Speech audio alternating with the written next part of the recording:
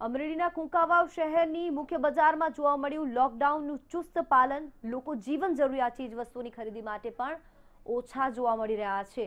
અહીં લોકોમાં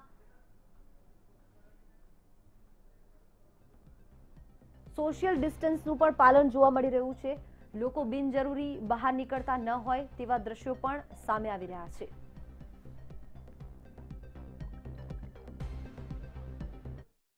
આપણે પહોંચ્યા છીએ અત્યારે અમરેલી જિલ્લાનું આજે કુકાવ ગામ છે. ત્યારે હું કેમેરામેન કહીશ કે દ્રશ્યો બતાવે.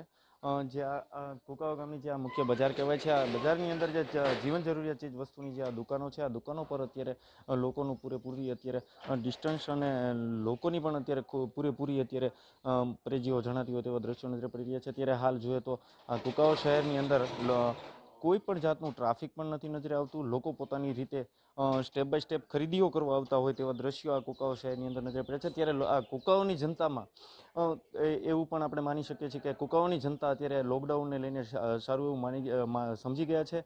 કે ઘરમાં રહેશું તો જ સેફ રહેશું તેવી આ કુકાઓની આ બજારો ઉપરથી આપણે અનુમાન લગાવી શકીએ. ત્યારે જીવન જરૂરિયાત ચીજ વસ્તુની પણ ખરીદી માટે અહીંયા કોઈ ટ્રાફિક નજરે નથી આવતું.